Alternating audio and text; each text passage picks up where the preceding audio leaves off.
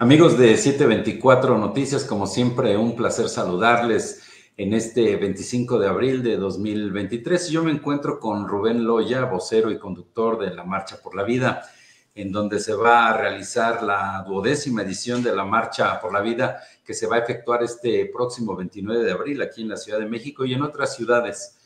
Y bueno, pues las personas que quieran participar lo podrán hacer de manera voluntaria. Entonces, bueno, pues Rubén, muchísimas gracias por platicar con 724 Noticias. ¿Cómo estás? Gracias, Arturo. Gracias a 724 por la invitación. Pues emocionado de la marcha. La verdad ya estamos afinando todos los detalles para estar con, o sea, entre todos nosotros este próximo sábado 29 de abril allí en la Ciudad de México. Bueno, pues platícame eh, la finalidad precisamente de esto. Se trata de, bueno, evidentemente generar esta conciencia en donde pues las autoridades eh, prácticamente no han coincidido, pero que también pues han registrado algunos casos, algunos fallecimientos. ¿Cuál es el objetivo realmente de esta marcha, Rubén? Mira, Arturo, eh, te comento, el movimiento de Pasos por la Vida surge cuatro años después de la despenalización del aborto en Ciudad de México y mm, pues surge con, la, con el propósito de darle voz a, a todos esos bebés que han arrebatado la voz y pues después de 16 años de la despenalización, estamos justamente como en este aniversario de la despenalización, pues como movimiento buscamos dejar claro que pues hay voces que tienen que ser escuchadas, que son las personas como nosotros que estamos a favor de la vida y que es una lucha que, traemos pues no solo de una marcha, sino que constantemente estamos haciendo. Y bueno, el objetivo de la marcha es exigir a las autoridades, como bien mencionas, o sea, es una exigencia de la ciudadanía, no es eh, solamente ir y marchar. Eh, nada más por lo más, sino que buscamos realmente que las autoridades nos escuchen y de eso nos vamos a encargar. Eh, lo hemos hecho por mucho, muchos años y lo seguiremos haciendo. Buscamos que haya una verdadera educación. Los mismos datos de la Ciudad de México, del gobierno de la Ciudad de México, del sistema de administración médica e información hospitalaria, nos revelan que los argumentos con los que se buscó despenalizar en 2007, pues no, no, han sido cubiertos. Uno de ellos que me parece muy importante mencionar eh, es el tema de, de que iba a reducir el número de prácticas de aborto y pues hoy por hoy vemos que se ha triplicado. este argumento con el que se buscaba despenalizar y que se despenalizó, pues es una mentira y no lo han vendido. Entonces queremos primero pues exigir a las autoridades que realmente se pongan a hacer su chamba, porque no se trata solamente de un aborto ya, y pues las niñas, eh, bueno, los mismos datos también nos revelan que el 74% de los abortos ocurren en niñas de secundaria y jóvenes de preparatoria. Entonces, ¿dónde está la prevención al embarazo adolescente? No están haciendo nada y queremos dejarlo muy claro. Y pues de, de, entrada también buscamos generar una cultura de vida. Es decir, que, que más allá de que el aborto eh, ahorita esté, despenalizado en Ciudad de México y en otros 10 estados de la República, pues el aborto sea algo impensable y, pues podamos impulsar esta cultura de vida en todas las ciudades de la República Mexicana. En ese sentido, bueno, realmente creo que es preocupante la parte de que el Estado debería de garantizar precisamente la seguridad, pero parece ser que su política pública es realmente pues atentar primero con el más indefenso, el no nacido, y por el otro lado, pues también la mujer a través de estos eh, pues de esta práctica del aborto por un lado, y que inclusive ahora ya han utilizado otras prácticas precisamente para arrebatar la vida del niño, sin darse cuenta también de que existen secuelas psicológicas para quien de alguna manera, para cualquier mujer que de alguna manera está embarazada y que pues busca esta puerta porque la autoridad así lo ha determinado, pero también existen otras alternativas precisamente para evitar este tipo de prácticas. Sí, definitivamente creo que es algo que, se nos ha planteado, ¿no? Parece que, y más con el gobierno actual que tenemos a nivel federal, y es que, pues parece que apoyan para todo, o sea, hay programas sociales para todo, menos para mujeres embarazadas, y cada vez atentan más contra ello. Mencionas un, un dato muy interesante, y es que del 100% de los abortos que se realizan, bueno, una de las premisas que se tiene hoy por hoy para despenalizar el aborto en todo México es el tema de que pues eh, el aborto en casa pues es peligroso y, que entonces buscan un aborto seguro, legal y gratuito y pues de entrada pues no hay ningún aborto seguro. Y los mismos datos revelados por el ILE mencionan que el 79, casi 80% de los abortos se realizan en casa, es decir, tú llegas, quieres abortar, te dan una pastillita que ni siquiera es un medicamento controlado, que o sea, ya parece que lo, lo venden nada más porque sí no es un medicamento que controlen y se lo llevan a las niñas y, jóvenes a, sus casas a abortar sin supervisión médica. O sea, no sabemos cuáles son los riesgos que puede implicar el que esté ella sola en su casa. Y también es un tema cultural que, pues no es como que lo comente con, alguien que, que esté en el área de la salud, simplemente van, se toman la pastilla y no conocen los riesgos y no se les explica. Entonces, realmente es algo preocupante que las autoridades deberían estar atendiendo y que desgraciadamente no se hace y por eso vamos a ir a levantar la voz. Has tocado un punto importante, Rubén, la parte en donde dices eh, que no hay un acompañamiento médico y por algo existe la objeción de conciencia en donde el médico precisamente que hizo un juramento para preservar y salvar la vida, eh, se está negando a realizar este tipo de, pues, de prácticas, de atentar contra el no nacido y contra la salud de la madre en este caso.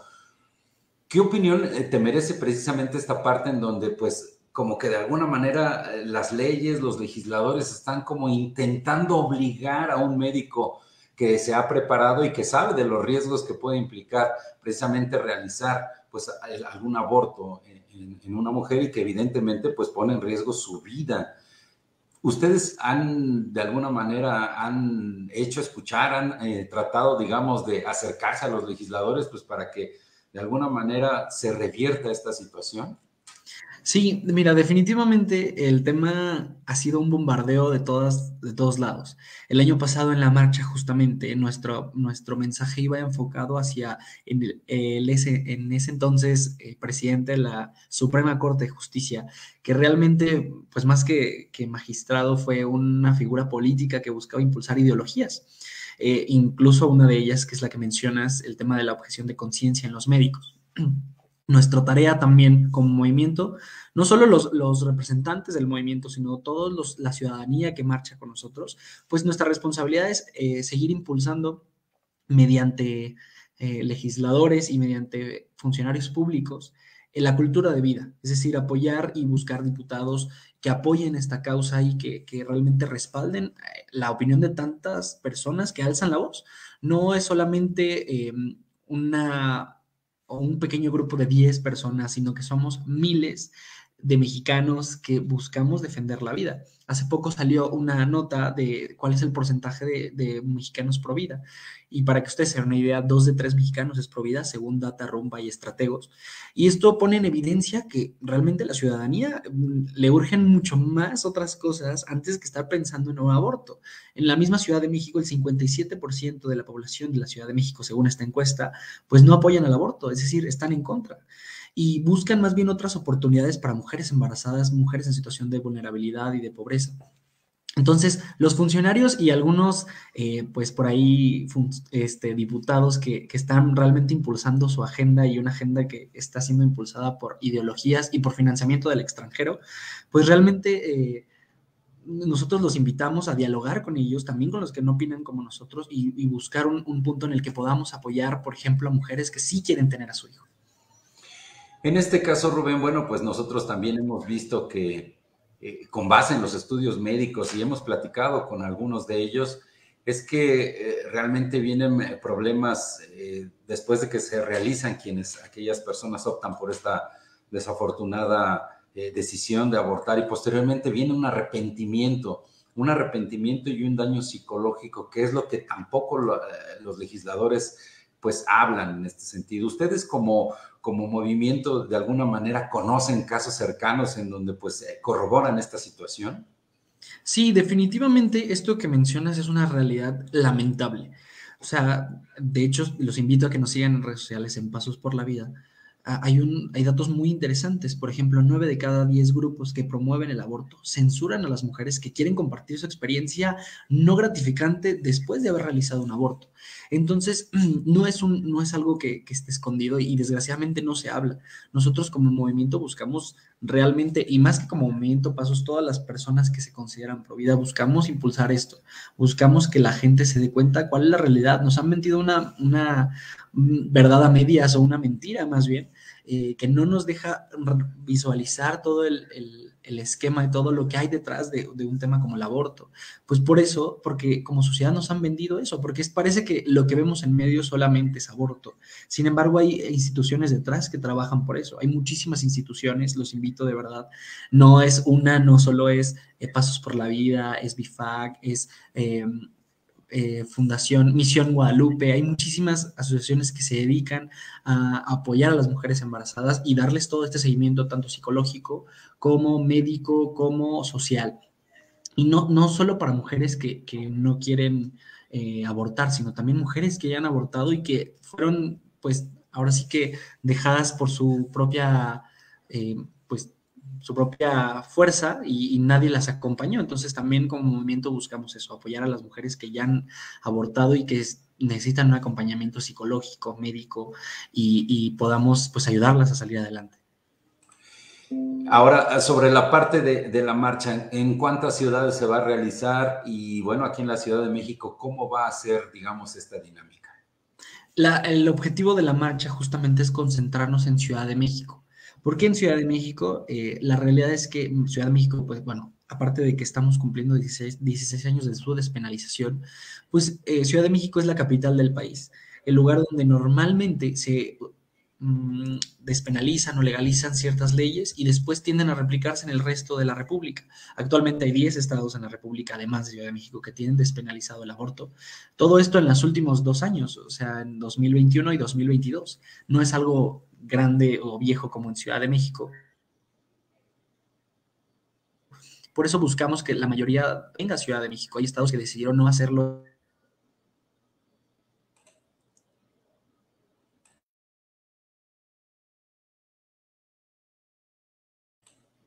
No fue a nosotros, ¿verdad? Mm. Sí, ahí estás, ahí estás. Creo que te perdimos un ratito, pero ya estás. ¿Ahí me escuchas? Listo, creo que ya. No sé qué pasó. ok, estas cosas pasan. Sí, sí, sí. Entonces buscamos que, que, las personas vengan a Ciudad de México a levantar la voz. Aquí es donde se replican las cosas.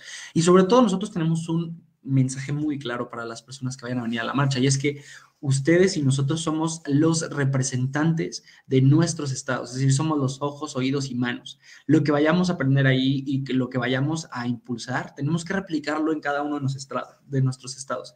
Como ya mencionaba, pues el seguimiento con nuestros funcionarios públicos, con nuestros representantes, con los legisladores, tiene que replicarse en cada uno de los estados de la República. No puede ser algo solamente en Ciudad de México y, lo que busca la marcha es tener representantes en todo el país.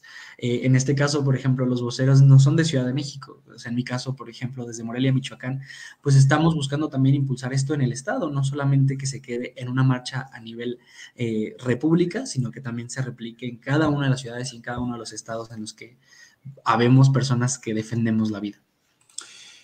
En este caso, Rubén, bueno, eh, quien nos está escuchando, quien nos está viendo, ¿Cómo puede ser partícipe? Las redes sociales, eh, la congregación va a ser, entiendo, en el Monumento a la Revolución, la hora, este, en fin, todos los detalles para quienes de alguna manera quieran participar, ahí se puedan congregar. Sí, pues abrimos la invitación a todas las personas que todavía tienen por ahí dudas de asistir o no. Realmente son necesarios y es necesario que todos nos juntemos a levantar la voz unidos. Y bueno, eh, nos vamos a congregar en el, momento, el Monumento a la Revolución el sábado 29 de abril a las 10 y media de la mañana. Si todavía no sabes cómo llegar, por favor, escríbenos en redes sociales. Nos encuentra como Pasos por la Vida. Y ahí podrán, eh, pues, de alguna manera impulsar eh, y buscar cómo llegar a Ciudad de México y cómo buscarnos y cómo apoyar. También es importante mencionar, si por algo no pueden asistir, eh, pues la lucha no solo es de manera presencial. Los invitamos a que por favor ayuden a difundir en redes toda la información que ustedes conozcan, todas las fotos que ustedes puedan tener y que etiqueten a Pasos por la Vida y utilicen nuestros dos hashtags de esta marcha, que es Marcha Vida MX y Aborto en Casa Seguro Mata y utilizando nuestro lema de este año, que es México, date cuenta. Queremos que todo México se dé cuenta que el aborto es una política fallida y que debemos buscar realmente soluciones para mujeres embarazadas, que la dignifiquen y sobre todo, pues que como mexicanos nos representen. Pues Rubén Loya, vocero y conductor de, la Marcha por la Vida, bueno, pues nosotros ahí estaremos eh, dando puntual cobertura a esta marcha y que evidentemente, bueno, pues ya en su emisión número 12 significa que realmente poco a poco se va tratando de revertir esta problemática y que de alguna manera pues tratar de concientizar a quien de alguna manera opta por esa puerta, por el otro lado las autoridades y como sociedad sabemos que bueno, también se está lacerando a través de esta práctica. Pues sí, pues muchísimas gracias. Creo que eh, algo que, mm, tenemos que dejar muy claro es que las leyes en México son totalmente revertibles. O sea, sí podemos echar abajo la ley del aborto, bueno, la despenalización del aborto. Entonces, para eso necesitamos de todos ustedes que nos están escuchando y todas las personas que ustedes conozcan que les interese este movimiento y esta causa. Eh, esto no es una propaganda del movimiento, simplemente es una acción de la ciudadanía que invitamos a que todos nos podamos sumar a levantar la voz, porque estoy seguro que hay muchos allá afuera que todavía no se animan a levantar la voz, pero están de acuerdo con lo que nosotros buscamos defender. Entonces, pues los invitamos, repito, este próximo sábado 29 de abril a las 10.30 de la mañana en el Monumento a la Revolución en Ciudad de México. Búscanos en redes sociales y ahí podrás encontrar los camiones que vienen de tu estado, vienen estados, te comparto todo bien estados que en ocasiones anteriores no habían venido y eso quiere decir que estamos haciendo las cosas bien, estamos impulsando y creciendo el número de, de, cultura de vida. En esta ocasión estamos muy felices porque nos acompañan desde Quintana Roo, desde Cancún, vienen a la marcha, vienen de Monterrey, vienen de Tijuana, entonces eso nos emociona muchísimo porque quiere decir que los estados más lejanos también saben de la importancia porque parece ser que a veces no se escucha hasta las orillas, pero realmente sí es un tema que nos preocupa y que sobre todo nos tiene que ocupar en seguir defendiendo la vida, y alzando la voz. Y que de frontera a frontera, bueno, México se da cuenta precisamente de esto. México se da cuenta. Pues Rubén, como siempre, muchísimas gracias por estos minutos, por haber platicado con 724 Noticias y nos vemos el próximo sábado. Muchísimas gracias. Nos vemos el sábado y que México se dé cuenta. Hasta luego, gracias.